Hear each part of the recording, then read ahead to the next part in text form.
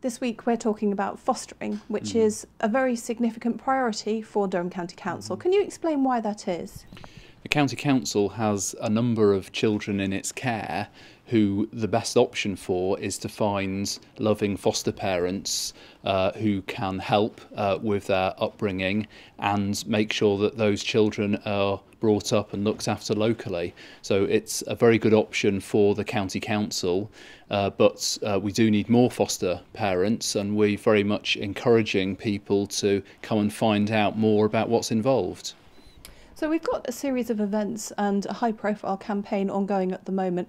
How important do you think it is that people foster with us as an organisation, as a county council? Well, it is very important that we do find local people who can help foster uh, uh, children because one of the alternatives is that children might be sent to other areas uh, to be fostered elsewhere and clearly that breaks the links that they might have their their friends uh, and the area that they know. It's much better for all concerned if County Durham children can be brought up in County Durham.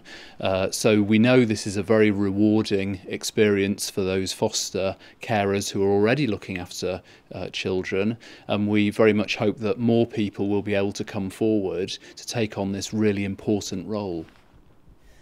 What are the benefits of fostering with Durham County Council? Well, the, the, a package is available that includes uh, advice, support, uh, training, uh, also financial support, uh, and also uh, bringing people into contact with a network uh, of others who are involved in foster parenting to some extent, fostering these days is a career. Foster parents describe it as the only job that loves you back. How important do you think that is?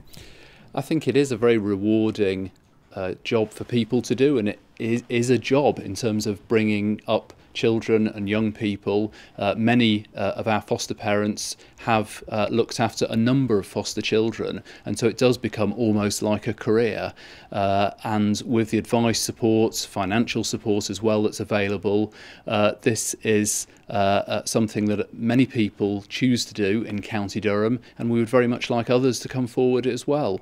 So please do come to one of our sessions that's happening this Saturday and again on Monday at County Hall and find out more uh, about whether you too might be able to become a foster parent.